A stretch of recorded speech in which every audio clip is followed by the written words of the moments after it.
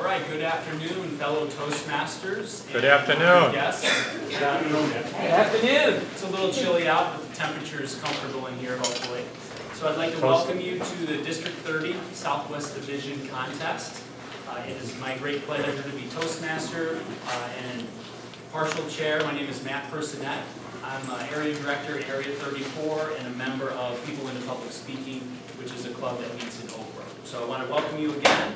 And today we're going to be having our evaluation and our humorous speech contest at the district level. And I would like, division level, did I say district level? Yes. Division level. See, now that I've made my first mistake, now I'm relaxed. So thank you for your help. Feel free to help me if at some other point I mess up as well.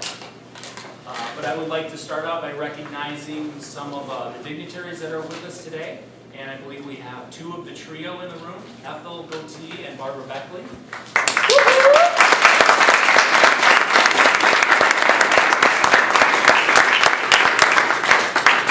Thank you both for coming. I do realize you've been to more than one contest recently. So it's nice to- It's nice to have you.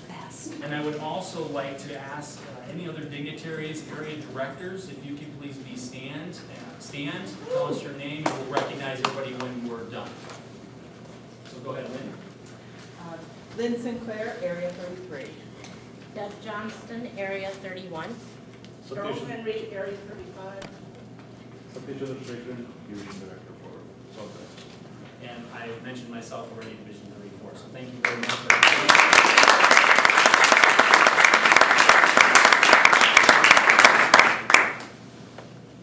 Now, next, the next contest, does anybody know after today when the next contest is?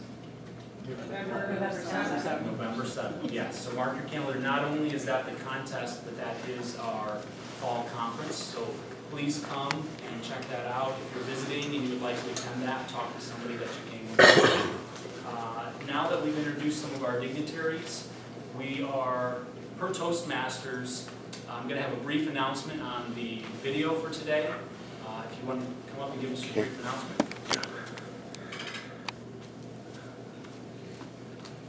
My name is Tim, I'm videotaping the contest. The, the contest will be made public at the conference.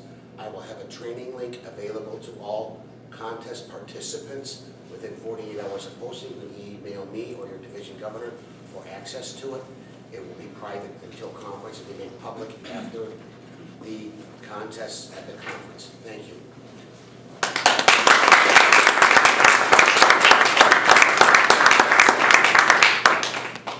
All right, a few guidelines before we begin, uh, and a few items I forgot to mention. In areas with four or fewer clubs, at the start of the contest season, clubs are encouraged to send up to two representatives or participants each per contest to the area level. Now we're past the area contest. Per Toastmasters International, in areas with five or more clubs at the beginning of contest season, clubs may send one participant each. And in divisions with four or fewer areas, areas are encouraged to send up to two participants each per contest to the division level contest, which is what today is.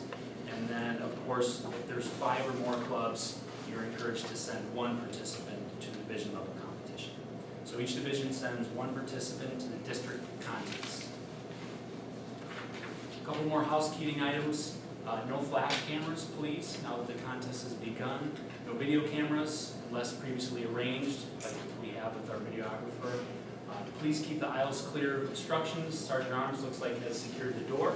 And would just ask that you would turn off any electronic devices or turn on vibrate.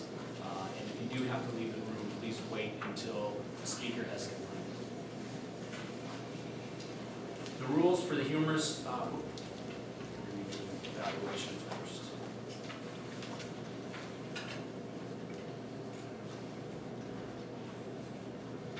If it looks like I'm fumbling, you're correct. I just found out I was gonna be the Toastmasters, so please bear with me. So the rules for the humorous speech contest, which we're gonna do first. No, evaluation. I'm sorry, evaluation speech contest, is what I wanted to say. I will announce the, the speaking order for that contest. And if you're speaking, the timing is gonna be as follows. The timers are in the back. way to the timer. And how will you be signaling them when they're at two minutes? They will be holding up two green cards, you're both gonna be holding up a green, no, just one. So you will, look. if you're in the evaluation speech contest, at two minutes, in the back of the room, you will see a green card. At two and a half minutes, you will see a yellow card. And at three minutes, you will see red, which lets you know to wrap it up quickly. Any questions on the timer? Okay, you do need to stay within time, otherwise you could be disqualified. The speaking order for the evaluation contest is as follows. The first speaker is gonna be Helen McCullough.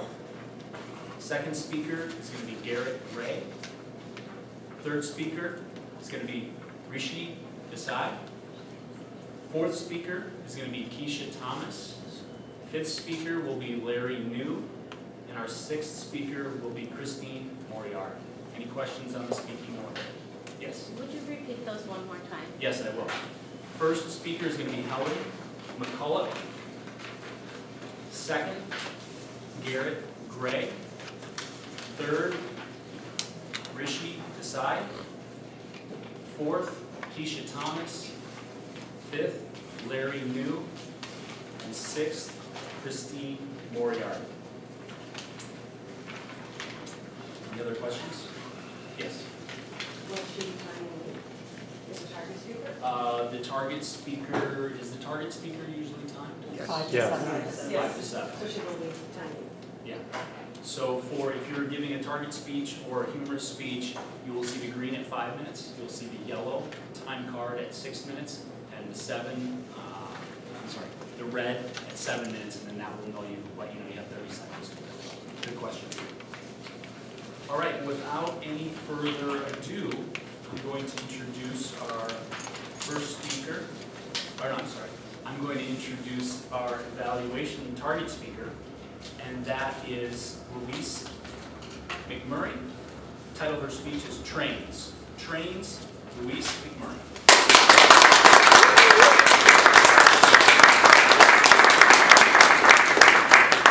Thank you, Mr. Contest Master, fellow Toastmasters, and distinguished guests. I have a question for you. Have any of you ever taken the Metro or any commuter train lines? Okay, cool. Have any of you ever taken, whether it's in Chicago or New York or Paris or San Francisco, or any of those places, they train, their Metro or their subways? Yes. There's a difference between those two, aren't there? Hmm, mhm. Well, I take the Metro to work every day. But recently, I've been working late. And so when I take the metro normally to work, I have to take the red line, the L. I take that home. And I was thinking, I'm cheating on the metro with the L. And that reminded me, back, way back when, and maybe you too can think back, way back when, when you were really young and you just got out of high school or college, and you started dating. Now, especially for the ladies, you might have more than one boyfriend that you dated, and you weren't really committed to either. One was the solid guy. He had a good job. He was the kind that was somewhat successful. He might be a little dull, though. That, to me, reminds me of the Metro. But then, there was Danger Boy. You know, we all like Danger Boy, a little bad boy. He might not have had a good steady job. He might be a bartender. He might be up really late. That, to me, is the L. And the way it works for me currently is although I do kind of have a steady, I also am not completely committed. So it's okay that I have two. And sometimes in your life, you need more than one person and maybe more than one mode of transport, right? What I'd like to talk to you about today is how the Metra is like the solid guy. And I'd like to explain it in one way. When you have to go to a company wedding or a company function and you had to have a date, you would want to bring the solid guy, Mr. Metra. You would bring him. He would be good. But when you go to the bar to get your drinks, you're gonna meet Danger Boy, and he's gonna ask you if you wanna do jello shots. And you're gonna do them. And that's why, this is why, I call him Mr. Danger Boy, the red line or the owl. Now, they both have their places, and they're both really good. For instance, Metro Man. He's the guy that dresses well. He's nice, he looks good, he wears proper clothing, he owns a navy jacket, he owns a suit, and you can take him places. Now, one of the things I've noticed when I get on the Metro line is the readership, not ridership, and readership, they do like to read. One of the things I've noticed on the Metro line is that these individuals are all dressed properly. They're going to work. They have a purpose. They're going to get a job. They're going to school to get a better job. They're all there doing something prosperous. And they have a dress code. They look decent. And they have rules. When you go, when you get on the L and you look around, your dress code is, there is no dress code. You do need to wear a shirt, you need to wear shoes, you should have something on the bottom, and they let you on the train. However, you can wear whatever you want, but be careful, because you do not want to end up on the People of the CTA website. If you've ever seen People of Walmart, have you ever seen People of Walmart? You know what I'm talking about, except it's even weirder on the CTA, because those are people you really will meet. So, with Mr. Redline and Danger Boy, be careful what you wear. And also, there are rules when you get on the CTA, when you get on the L. The rule is, never look anyone in the eye. Because if you do, they will look right back at you, and you may not like what they say or see to you. One of the things is, they may ask you for money, or they may just take it. So now, when you go on the Metro line, there are rules too. One of the rules is, when you're in the quiet car, shh. And if you don't, well, one of the things I've seen is the rules are self-enforced. These are more disciplined people, just like your good boyfriend. The disciplined person will get a phone call on their phone, and they'll go, I'm on the quiet they don't, other people will come up to them and say, you're on the quiet car. Shh. And if they don't behave, everyone looks at them. And if the social pressure doesn't get you, they will call. They will definitely call one of the engineers and they will go and make them be good. They have to go outside and behave themselves. Now, when you're on the, the L, that doesn't necessarily happen. They have other things that happen though. The rules there are different as well, but they're much more fun. I would like to mention, however, that even though you may have this solid citizen guy, you may have Mr. Metro, he's a pretty good guy. He may meet you and your friends for brunch every Sunday, but you can't always depend on him, just like you can't always depend on the Metro. Do any of you recall when the Blackhawks won? Yeah, I had to take the L, except the L because I could not get on Mr. Metro. Mr. Metro was full, just like when the boyfriend's supposed to meet you and he says, but I'm taking clients out the night before, so he may not show up. Just like when there's a Fourth of July or something like that. You just can't get on it, you gotta find your own way. Not always reliable, but mostly. Now the red line, Mr. Danger Boy, is pretty good because this person is usually available. This one runs late and very early. That is a really great thing. I would also have to say that when you're on Mr. Metro, Mr. Metro is reliable, but he doesn't run after midnight. And if you've ever been out where you really want to stay out late, you had a really bad day and you have the next day off, and you want to stay out late, Mr. Metro will not run after midnight. Just like Mr. Solid Boy. He has to get up to, for work in the morning and he is not going to stay out with you. Danger Boy, now that's the guy you want. He will be up with you, he will buy drinks, he will hang out with you. And that's how that works there, which is a good thing. Sometimes you need calm and quiet and a quiet car. And sometimes you need someone who's going to try and make you be a bad girl. And you need both. Well, I need both. In conclusion, I did not have to make a decision at the point in time when I had Mr. Mr. Good Guy and Mr. Danger Boy. And at this point in time, one of the things I think is that since they never had to meet, and I never really had to make a decision, the trains are kind of like that. I don't have to make a decision. But what I do have is they have parallel lines, and they too will never meet. And I'm gonna go and do what's best for me. Sometimes I need quiet, sometimes I need excitement. And with the commuter and with the L, you get both. Thank you.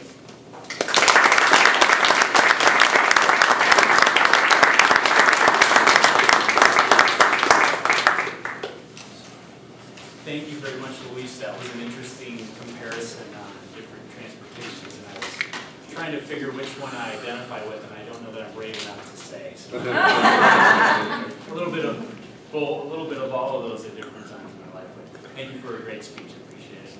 Uh, If we could have everyone that's now competing in the evaluation contest, uh, I believe you need to be escorted to a different room now.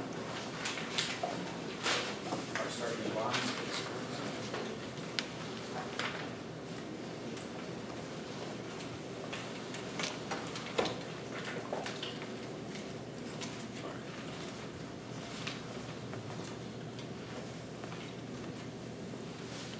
So if anyone needs- needed to use the restroom, now would be a good, good time to do that. We will have a break uh, after the evaluation contestants compete.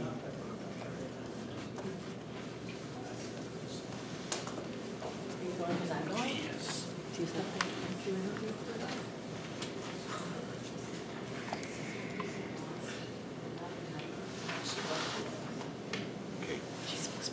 The next part of your agenda is to interview the Yes. target speaker. Hey, hold on. Um, excuse me? the- Bring her back. It's all right. You're supposed to be Get your announcement for these five minutes. contest. Get your announcement for the conference. So just again, to remind you, the announcement for the fall conference is going to be on November 2nd. And now I'd like to bring up our target speaker to interview her briefly. Come on up. Great job. So a couple questions for you. Uh, One is, I'll- I'll give you my three questions. How long have you been at Toastmasters? What is the highest education award you've achieved? And what club or clubs do you represent? All right, well, I joined Toastmasters November 2014. I am in Blue Cross Blue Shield of Illinois, Chicago One Club. Um, I'm the VP of membership there. I have my CL, my CC, and if I could just finish one of the five books I'm working on, well, two of them, I'm um, just about at my AL um, Advanced Leader Bronze. I think that'll be done, and then I'll have my Advanced Leader, my Advanced Communication Bronze, so I'm kind of zipping along. So, yeah, for uh, less than a year old as a Toastmaster, you're really doing quite, quite a bit, so, Oh, Thank you, well, we have two, we have um, two meetings a week. Okay. So um, you get, you can do your roles and you can get everything done when you have a lot of meetings and um, you take on the leadership role, you have to be there for people. And then if they're not there, you, you know, there's an opportunity to take on roles and help out. So it's, it's a lot of fun and really a lot of fun. Yeah, for anybody that goes to a meeting once a week or twice a month, that definitely raises the bar for us. Well, people have to pull out because work and life concerns happen, and sometimes you can help out. So I found it nice. And I didn't know that you could go on all these different leadership tracks. I didn't know you could go and get on the communication tracks. I didn't know you could go for these um, things. I didn't know. And once I found out, I'm like, I want that. And then I went to my first leadership conference that they had, and I'm like, DTM, that looks good. So um, I want to get on and get that, because it's really cool. Every time you go, you pick up so much more. Last question, what, what drew you originally to Toastmasters? I'm a middle child, all right? Nobody listens. Here, they actually do.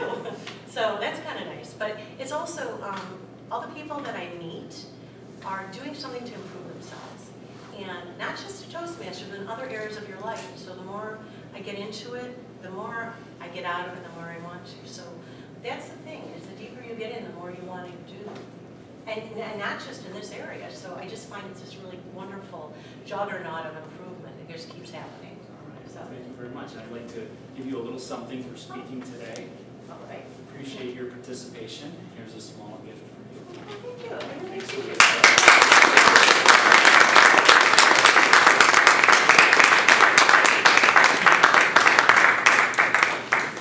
And so you're doing great for less than a year as a Toastmaster. You're doing great, so that's excellent. Thank you. Now I believe we have reached our time and we're ready for our first evaluation. No, No. I'm getting a signal. Two minutes left. Timer's telling me we have two minutes left. That was only a one-minute interview. That seemed like. As I mentioned, the fall conference. What date is that? Anybody, anybody? November seventh. Who's gonna be there? Craig, We no? have the sheet by the door right there. Is it Actually, you have the program quality director who could tell you all about it. Barbara, could you come and talk up the Yes, I can. fall conference, please? Welcome.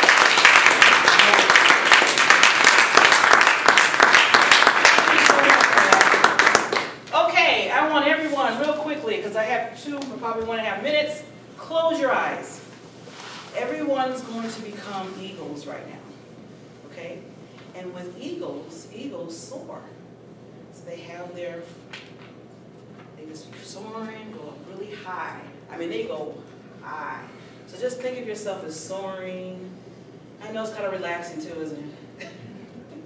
And I want you to think about why you're soaring. You're going to be soaring November 7th to the Fall Conference District 30 because we're going to soar for success. So keep that in your mind, put it in your iPad, put it in your laptop, everything, anything that you need to remember a date. Please put November 7th, 2015. Now you can open your eyes now. I know it's relaxing. I just want everybody to know, soaring for success. Soaring for success. We're going to soar for success. I want every individual in this room, not just me, not just Matt, not just Ethel, but we're all going to be at that district fall, fall conference to soar for our success. Craig Valentine is going to help us with that. He's the 1999 World Champion of International, and he's coming on that day, speaking twice to our Achievers Breakfast people, and also in the afternoon to talk about soaring for success. So you don't want to, you don't want to miss that. You really don't. We have a lot of other goodies too going on that day. Has anybody achieved an award this year between April and October? Yay! That means that you're going to be invited to a wonderful Achievers Breakfast. And guess what? You don't have to pay for it. It's on District 30 because we love when you achieve awards. So that will be at 7 o'clock. Then we have our banner parade. So please bring your banner. Support your club. I know you from Cross Blue Shield. Bring your banner. Walk up there. I am proud of my club. That's when we have our banner parade. Then after that, we have our business meeting with our DEC member, DEC executives. And after that, there's going to be some more educational sessions. From then on, guess what? Everyone that wins here is going to be part of either the evaluation district contest or the humorous speech contest. So we want to really show our support for our winners here. So please, that's another thing. There's a lot of stuff going on. Red carpet, if you achieved an award, if your club achieved an award, distinguished, president, select. You'll get an award, you'll walk down that red carpet and you'll get a picture taken probably by your club and probably by us. So please, please, please, please, please, I want everybody to soar for success on November 7th, 2015, not next year. It's coming up, a few more weeks, so please put it down. When are we It's gonna be at the Countryside Vineyards, 6200 Joliet Road in Countryside, Illinois. I'll be there. Will you be there? You be there? Jill, will you be there? Good. Jerry? I know you'll be there. I know you'll be there. Did it change again? I thought it Yes. a. We have the changes in the back, our flyers, so we're gonna be at Countryside, Illinois, okay? Just please make sure you get the flyer in the back, because the address has changed. I have a newer one. Yeah, we have the newest one back. Okay, and the reason, I didn't want to get, because we had to get into our contest, the reason why I changed, because of budgeting, and we had to make sure that we are basically compensating for our members. When we're giving, when we're charging, we want to make sure we're charging the right fees, so we had to make sure that it was complimentary to our members, because that's what it's all about. So I just want to make, make sure, thank you for the red light, and on that note, we'll go back to our contest.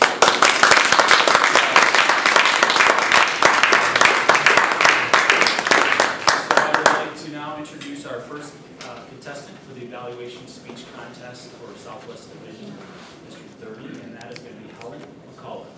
Helen McCullough.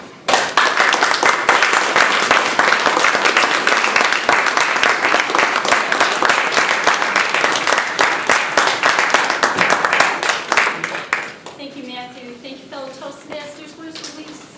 Hey, parallelism.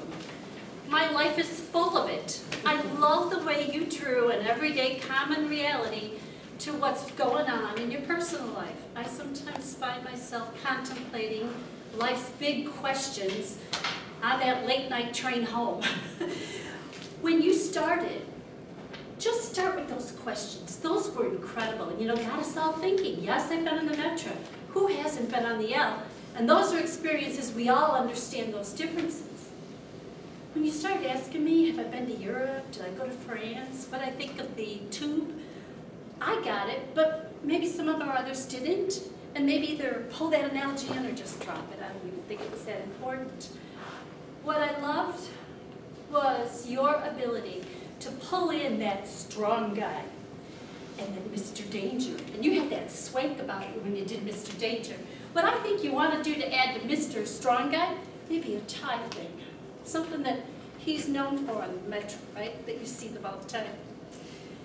And your purposeful use of the stage, pretty casual, pretty trying to pull us all in from all sides. But when you walked up to Matthew and said, quiet zone, I think that was beautiful. That was exactly the right use of our body language and how we go. Back to your parallelisms, you have this great view of how life happens every day. The people of Walmart, you might even throw in a funny one or two, even about what you do see on the L. I haven't been on the L myself for quite a number of years, but I don't think it's improved. I have been on the Metro, and I know that that's still the same seats that we all used to sit in.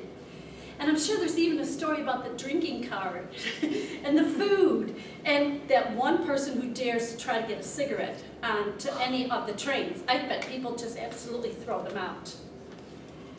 Your big speech was very entertaining. You have that ability to pull us in, describe with your visual language what you're talking about, keep us entertained as we go through it, which is really what we're all trying to do in our five to seven minutes, right? What I'd like you to do is strong focus on the parallelism, because boy, that was really the speech to me. Mr. Toastmaster.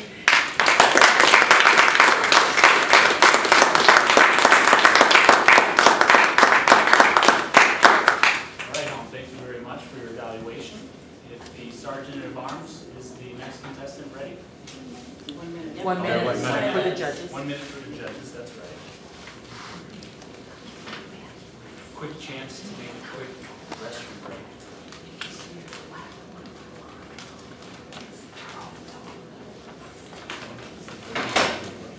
You must all think I have a small bladder because I mentioned the restroom breaks.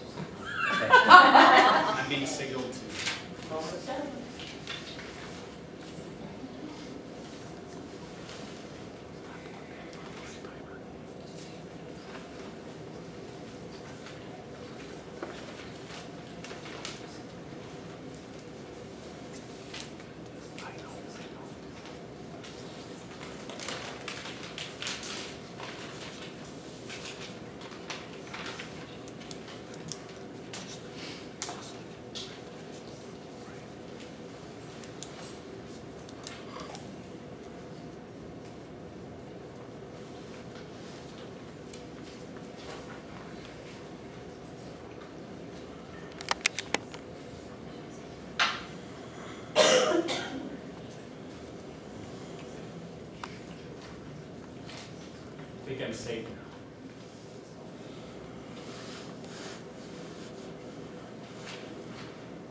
All right.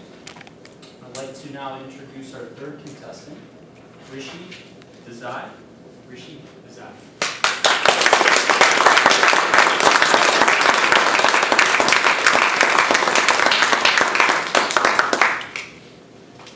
Mr. Contest Chair, fellow Toastmasters, honored dignitaries, and especially Louise. Trains, excellent topic. I was not knowing if you're gonna take us on a journey to downtown Chicago or some exotic location using the word trains, but the way you started off, it got my attention. I mean, for me personally, I love trains. I was growing up. I lived around the train system, so I really enjoyed it. You were very well prepared and organized, and I thought the way that you went around the room and used the stage very appropriately. You went to one point, stopped, talked to the next point, and I thought that was a very good well of using the stage. Another thing that I liked is that your analogies. You're talking about the Metra being Mr. Reliable, and you presented that he was dressed up, had a tie, you know, proper posture, and everything. While Mr. Bad Boy, or the L, you know, he had a little bit of like swagger to him, like he was walking with a strut. And I thought that was really useful. Couple of things that I thought maybe you could have worked on is that using some vocal variety. I mean, you have Mr. Proper, and you can have him as like very, you know, proper and his lips tone and whatnots. But then you can have Bad Boy like, yeah, ba- I'm the guy here, and I can do this, and I can, you know, take you wherever you want, and we can do Jello shots, or you can have some way of using the vocal variety to distinguish the people. Another thing I think would be very useful is using props. You have, of course, I mean, a suit and tie you don't have to wear, but bad boy you can have like maybe a hat, you know, backwards, or some kind of like, you know, chains or something that that can symbolize that. But I thought those, you know, that was, those two things for sure. And then finally, I would like to also mention is that when you conclude your speech, you use the word in conclusion. And usually, it's not a great thing to use in conclusion because then it's, for us, the audience says, okay, now we can turn off the hearing, we can, we're done with the speech and so forth. I think that if you use a better way of like, okay, now let's come to why do we want to go with Mr. Reliable or the L, the bad boy, and try to make sure that, you know, what, what's the differences and which way do we want to decide. But overall, I think we're very confident. You engaged the audience very much so, and I loved your speech very much, and I hope to hear more from you. Mr. Contest Chair.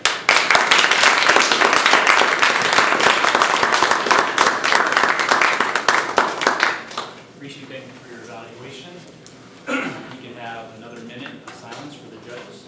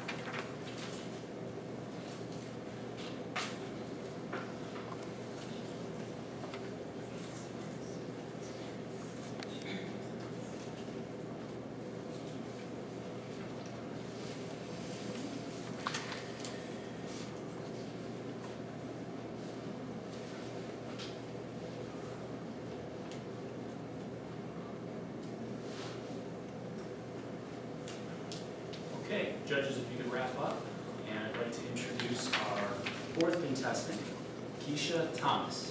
Keisha Thomas.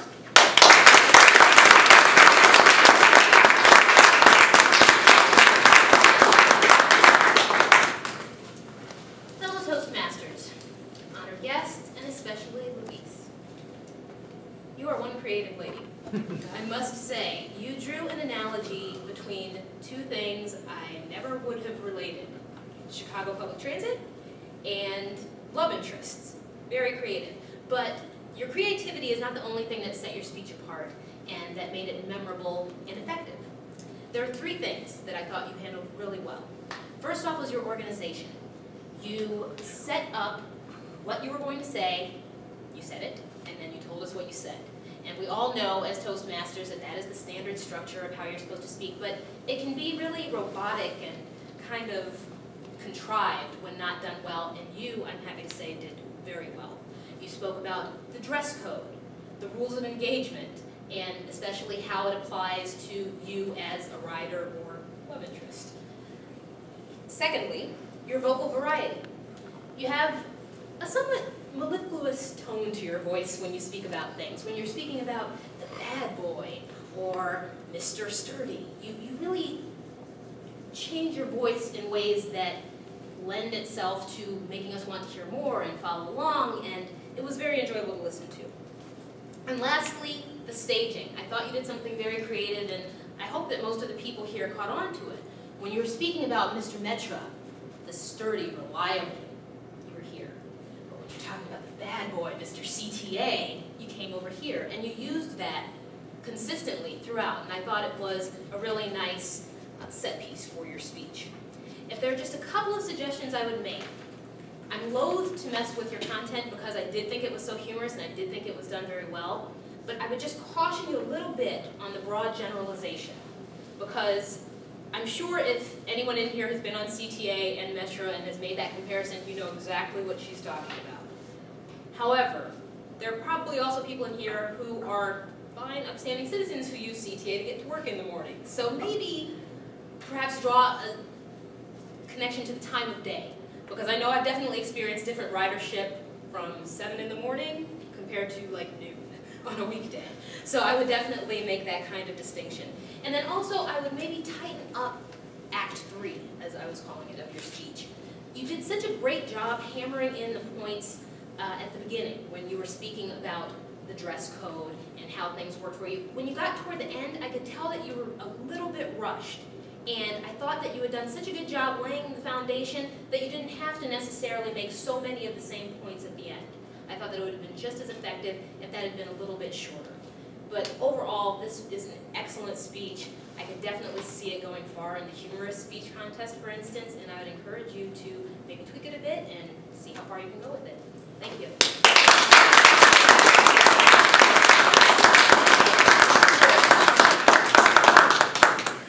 All right, thank you, Keisha. We can now have another minute for the judges.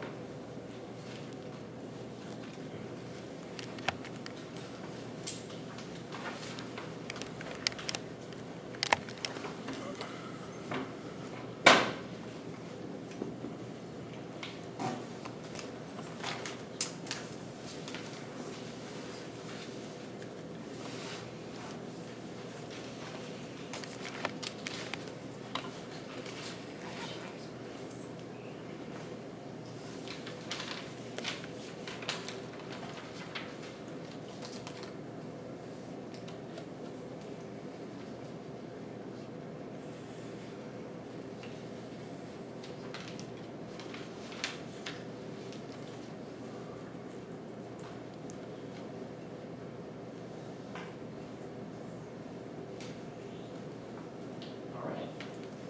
If you could uh, wrap up, uh, judges, if you have anything to wrap up, we're going to introduce our next contestant. And that is going to be Larry New. Please welcome Larry New.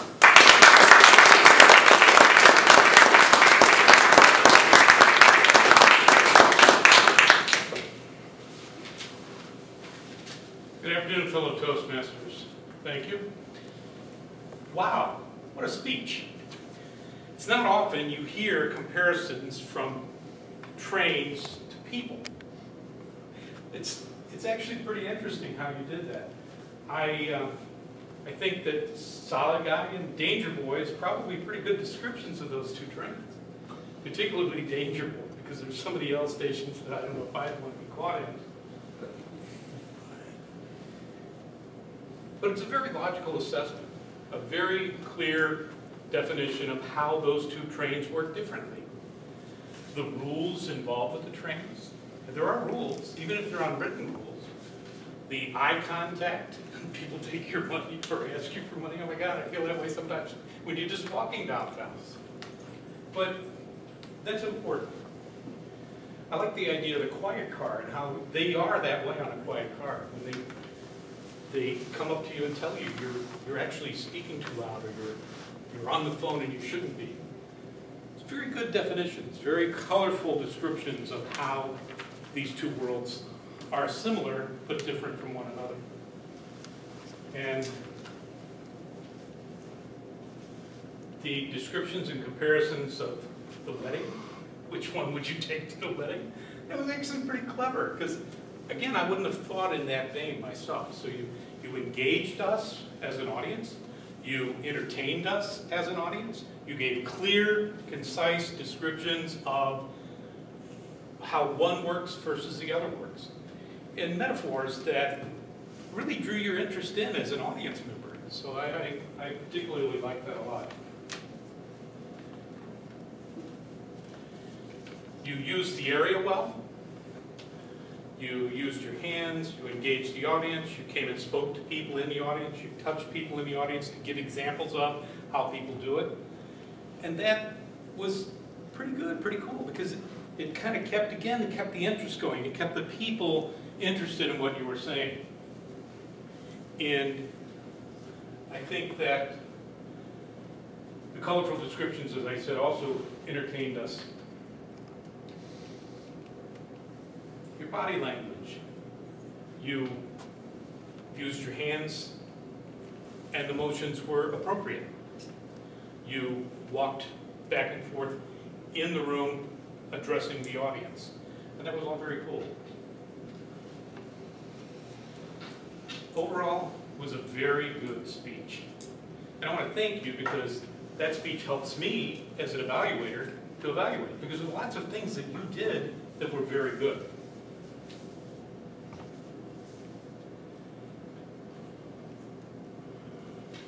Think in conclusion, you did a wonderful job of expressing the differences between the two in a colorful manner. Thank you.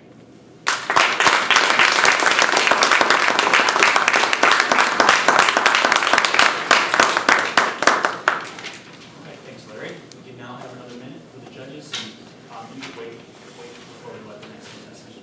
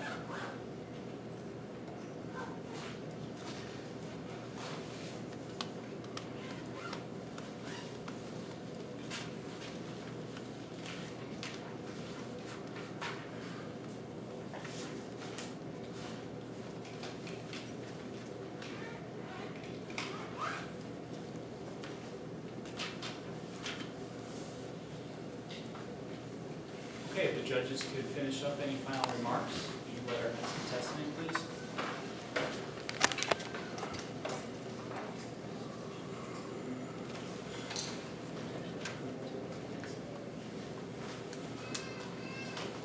I'd like to introduce our final contestant today for the evaluation speech contest, and that is Christine Moriarty. Please welcome Christine Moriarty.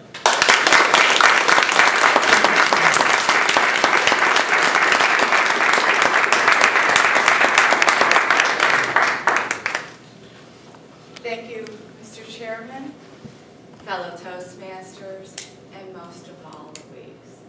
That was a really terrific speech. I really like the unique subject matter and the terrific analogy. You have such a great gem there, Louise. I think what it needs mostly is honing. You're a good speaker. You use your stage well, you move your hands well. Occasionally a little too much, but for the most part, your gestures went with what you were talking about. What you need to work on is your preparation. Starting with writing your speech, think about your transitions. How will I transition from one section to another? And when you're preparing to give it, you need to go over it and over it and over it. And I'm saying that because your speech is so good, but at times I saw you losing your train of thought or trying to remember what you were going to say. You looked up to the ceiling and at the wall. I mean, it's a lovely wall, but you can be better. I'm focusing on what you can do better because you're already very good. and you are here to learn. And that is one really good gem of a speech. You got out loud laughs. That is so hard to do a speech. I'm terrified of the humorous speech contest. I've given these people a lot of props for doing it. But you managed to do that. However, you weren't very sure of your laugh points. You need to stop, emphasize, and wait for your audience to get it. So that's exactly what I mean. You did a great job. The idea was great. It needed work on your execution. The other thing I noticed is when you were talking about um, the Metra quiet train, you picked the wrong person. Not that you're not a lovely man, Mr. Chairman. However, your partner right here is more in the center of your stage. You don't want to move too far up this way, that way, because there's some people in the back that want to see you too. And that's a universal. One other thing I would like to mention on your word choice, Metroman versus Mr. Dangerous, or it was Mr. Metra versus Mr. Dangerous. Mr. Dangerous stayed with me, or Dangerous Man, stayed with me a little bit more, could have worked a little bit, but both are a little fuzzy. Those two characters really needed to be emphasized and delineated. It's like when you're reading a book, you don't want to forget some of the characters and have to look back 20 pages. But overall, I'm so excited because that was a great speech. You are a great speaker and you have a gem of an idea and a creative mind. So I look forward to seeing you in the future. Thank you.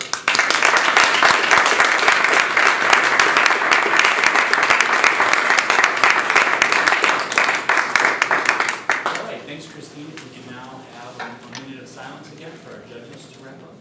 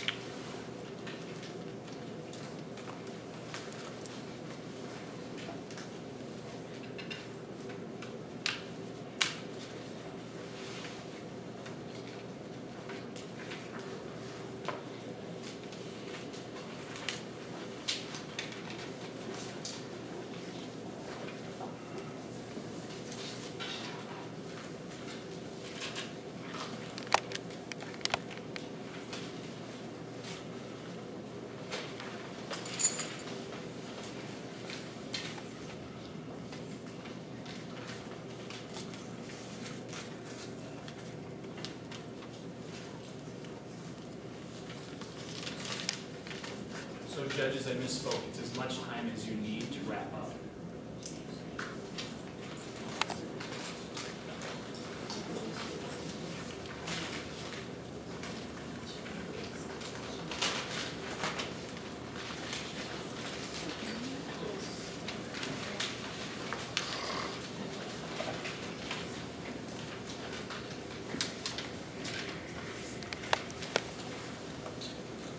And if the ballot counters would just let me know when they've received all the ballots.